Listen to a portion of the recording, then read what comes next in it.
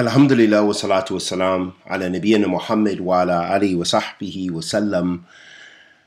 أما بعد أحبة في الله إمام بن باز رحمة الله عليه رحمة واسعة asked يقول السائل في آخر أسئلته في الحديث مروي عن رسول الله صلى الله عليه وسلم من قال في دبر كل صلاة سبحان الله والحمد لله والله أكبر.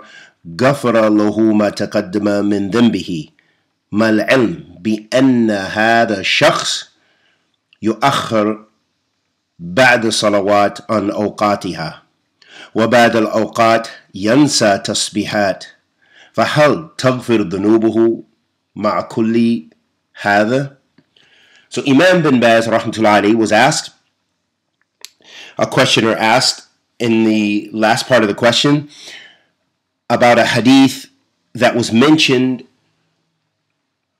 from the Prophet sallallahu that he said that one should say in the at the end of salat after every prayer subhanallah walhamdulillah wallahu akbar. That Allah will that this person will be forgiven for the sins that he did previously.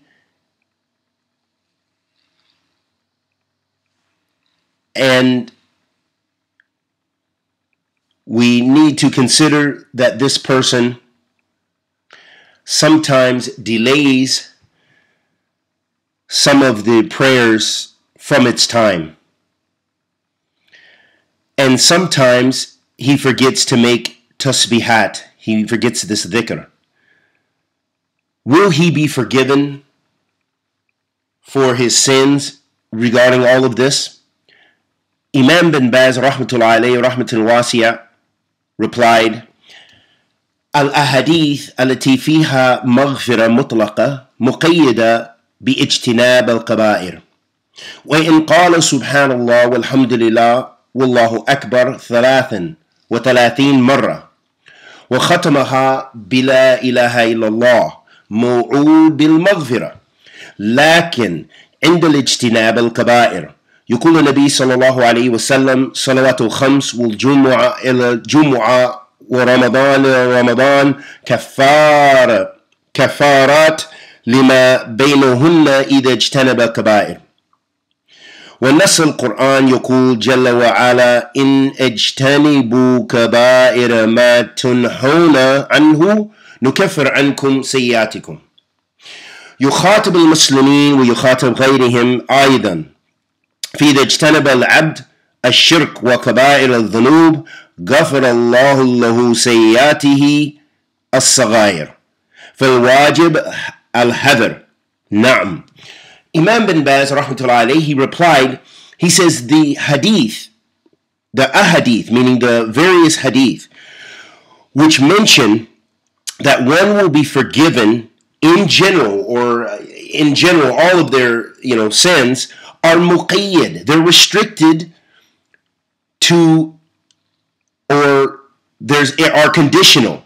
Bi ijtinab al-kaba'ir meaning that one must stay away from the major sins.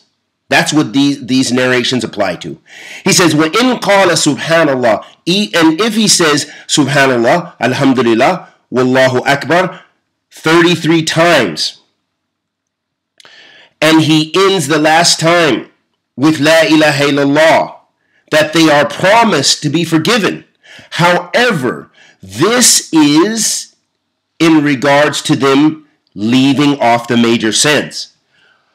The Prophet ﷺ said the five daily prayers and Jumu'ah to Jumu'ah and Ramadan to Ramadan are expiations to what is taking place between them. If one, or as long as one, stays away from the major sins. And then the Quran, the Almighty subhanahu wa ta'ala says, if you, uh, if you stay away from the major sins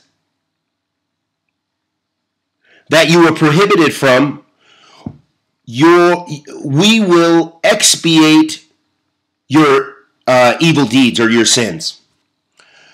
This verse addresses is addressed to the Muslims as well as other than the Muslims. So if a person or if a slave stays away from shirk and the major sins, Allah will forgive them of their minor sins. So it is an obligation to avoid uh, to avoid those sins. وصلى الله وسلم على نبينا محمد